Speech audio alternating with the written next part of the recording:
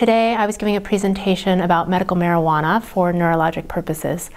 And the reason we decided to do that presentation is because a lot of our patients are using medical marijuana for neurologic purposes, and whether or not you agree with it as a neurologist, it's important to be educated about it so you can counsel your patients and talk to them about uh, its use. So the situation we have here in the U.S. now is that uh, marijuana is still federally illegal, and so states individually have made their own marijuana laws. And so at a national meeting like this, it's hard to counsel individual providers because everyone comes from a different state.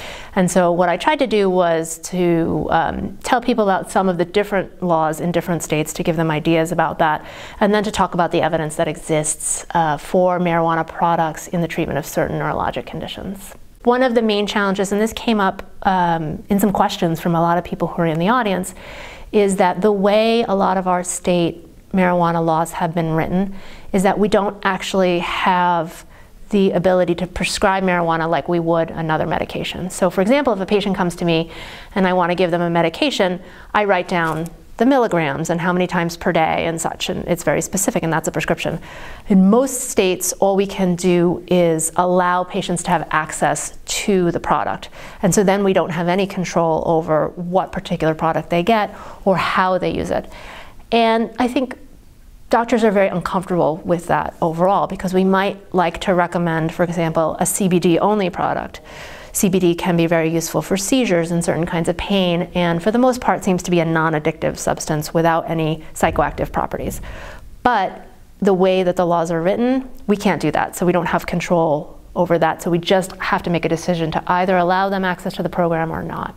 I think we would like to see more research into exactly the products that we have available and what kinds of neurologic problems they're good for. It seems like there's pretty good research so far about uh, CBD products in epilepsy, or certain kinds of epilepsy anyway, um, for chronic pain and um, to some extent for spasticity associated with multiple sclerosis. That's where the data is best in neurologic conditions.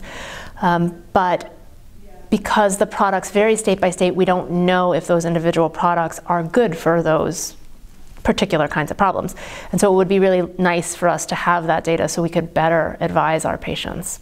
There's also a lot of stuff that's available out online that people can just order, different kinds of supplements and things with CBD in them, and it's very hard to know how to advise patients like that. So it ends up being more of an issue of common sense uh, rather than based on science, which um, is not the best situation. In the state medical marijuana programs, the, the product itself is technically not a medicine and is not approved by the FDA and so therefore is not covered by insurance at all. Um, and that can be good and bad in some ways in that it prevents, because the, the medications are so expensive that they, it really limits the availability of the medication. And so on the one hand, that might be a good thing because it is a potentially addictive substance. And so because it's so expensive, it makes it less likely that someone's going to get a whole lot of it. Um, but on the other side, you know, then our patients who don't have the financial ability to get it are, are not able to have access to that medication. And it's not covered by insurance at all, of course, because it's not, you know, an approved medication. Well, the AAN actually last year in 2018 um, made an official statement about medical marijuana, and I think one of the points in that statement was that right now marijuana is at the federal level a Schedule One controlled substance, and what that means is that it is a substance for which there is no accepted medical indication. That's what Schedule 1 means anyway. Um, and that has highly addictive properties, right? So the federal government has designated this um, medical marijuana or any marijuana in this category, and it makes it very difficult for us to do the research that we need to do to try and see if it's effective because it's very, very tightly regulated. And so what the AAN has said, and what I would agree with, is that we as neurologists and medical providers and researchers really support the loosening of this and the rescheduling of marijuana to a lower schedule so that it can be more accessible for research. And then we'll really know whether these um, marijuana or products made out of marijuana are helpful for neurologic conditions or not. Um, the data is still not as good as it should be. When people talk about medical marijuana, they mean a lot of different things. Um, Epidiolex is a uh, CBD product that comes from a natural marijuana source, but has gone through all of the regular um, processes, clinical trials, FDA approval, um, and is manufactured in a very standardized way, just like any other medication um, that you might be giving to your patients. And so, because that is a very standardized medication that, that is FDA approved, then we at least know what's, what's in it and it has proven efficacy for certain kinds of epilepsy.